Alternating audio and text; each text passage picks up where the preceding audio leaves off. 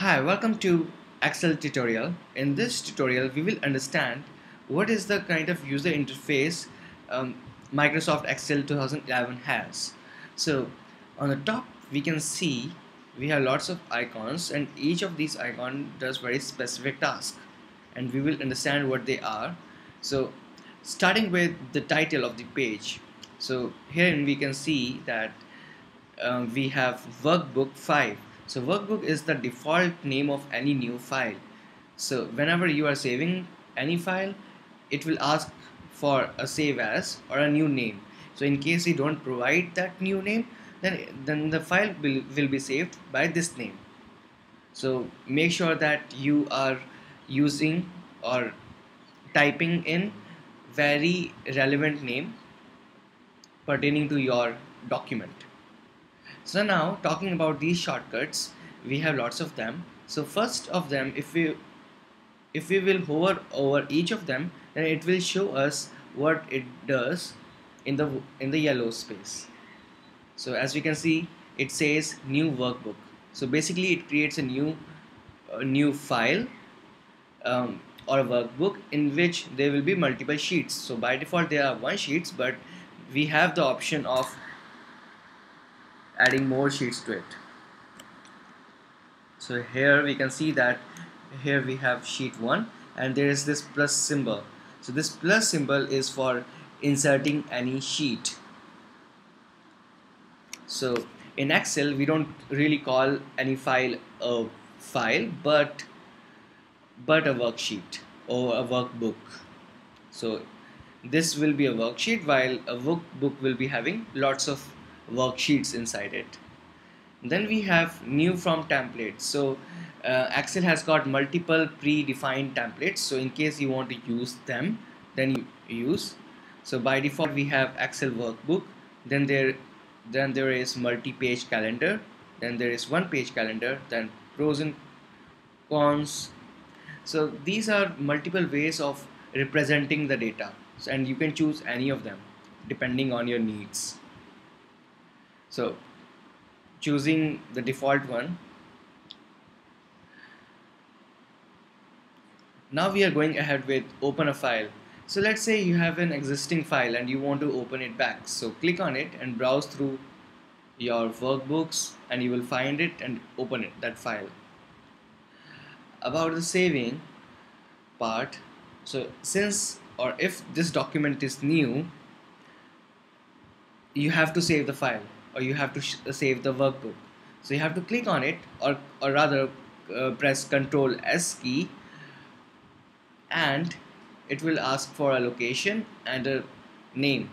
So provide the location where you, where you want to save the file and uh, the name. So the file will be saved in that particular location with with the name you provided. Now cut and copy so let's say we have this string abc and we want to cut it. So we can just click on it and we want to paste it in F2 so just click on paste. So we have seen that it has been removed from its original location to a new location. Now if you want to copy the formatting from one location to another and apply it to another so how do we do that? So let's say we have this text which is of 72 uh, font size with and it's bold.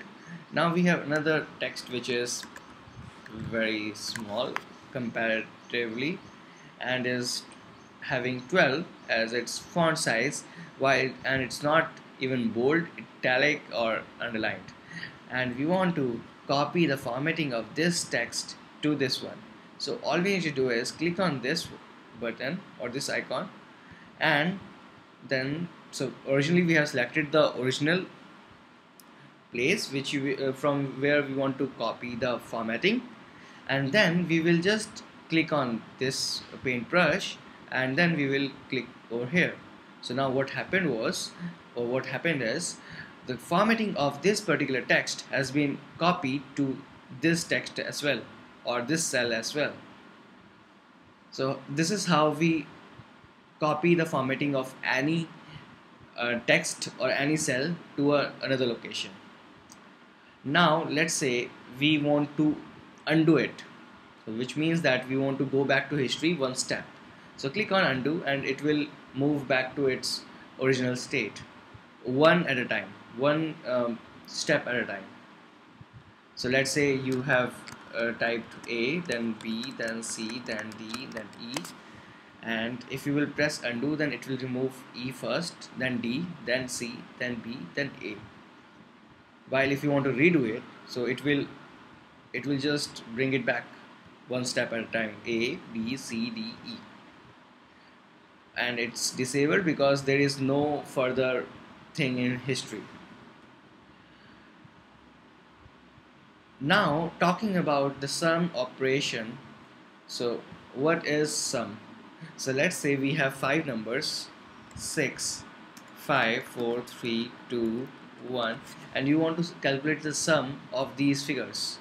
So all we need to do is click on this sum and then it will automatically select uh, the cells which are just above it and then just press enter so it will show you the the sum of these figures.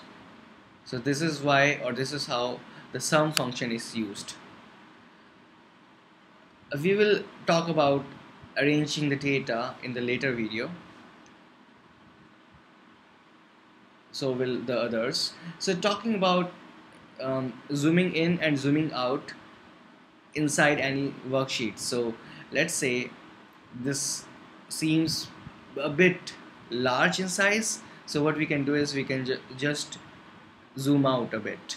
So let's say 100 so this is the original size of the work worksheet but if you want to increase the size if you are not if you are not able to see the contents then you can just select 200% so it will just zoom in zoomed in. Or you can even select 250 so this is up to you how much how much magnifying or how much zoom, zoom level you want. Thank you for watching the video